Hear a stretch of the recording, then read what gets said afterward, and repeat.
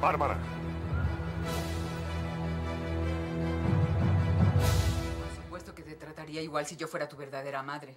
A mí lo que más me importa es hacerte un hombre responsable. Eso es lo primordial en la vida. Lo más importante son los sentimientos. Te equivocas. Los sentimientos solo te hacen débil. ¿Ya ves? Cristina ahora hace de ti lo que quiere. ¿Qué no has entendido que si Cristina te rechaza no debes volver a buscarla ni a ella ni a su hija? Dejar de ver a mi hija, nunca. No estoy dispuesto a hacerlo. Yo no estoy dispuesto a hacer lo que tú hiciste. Jamás renunciaré a mi hija.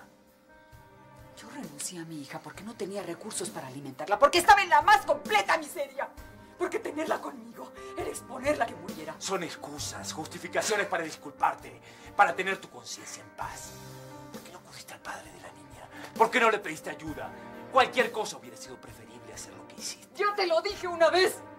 Él no lo sabía. Y además era un hombre prohibido. Él no podía ayudarme. No podía esperar nada de él. ¿Por qué no? Porque no pertenecía al mundo terrenal. Por eso. ¿Qué quiere decir? Que el padre de mi hija es un sacerdote. ¿Qué? Juan de la Cruz es el padre de mi hija. La noche anterior. Antes de que se fuera al seminario. Eso quiere decir Sí. que tú... Yo trabajaba como sirvienta en casa de la señora Ana Joaquina. Siempre fue muy severa, muy fanática. Desde que nació Juan lo había destinado a la iglesia. El padre Juan de la Cruz no quería ser sacerdote. Juan de la Cruz tenía una profunda vocación religiosa, una, una vocación sincera. Yo sabía que era un hombre prohibido, pero era tan bueno conmigo que me enamoré. Bueno, al menos eso creía en aquel momento. Yo creí que aquel sentimiento era amor.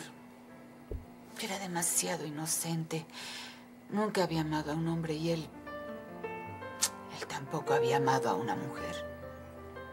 Nos entregamos el uno al otro.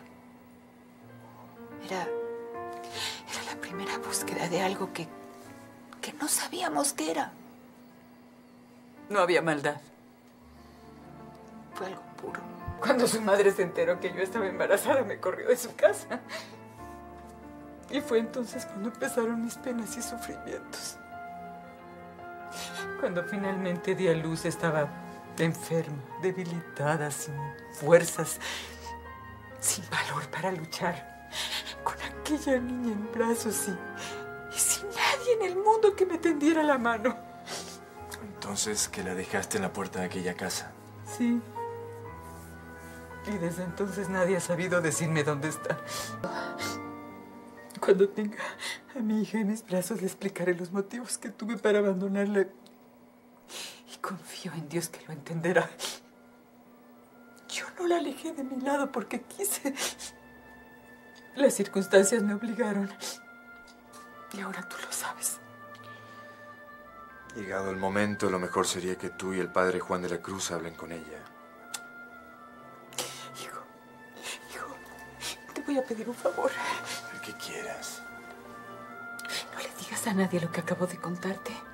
No quiero que nadie sepa todavía que Juan de la Cruz es el padre de mi hija mayor. dispuesto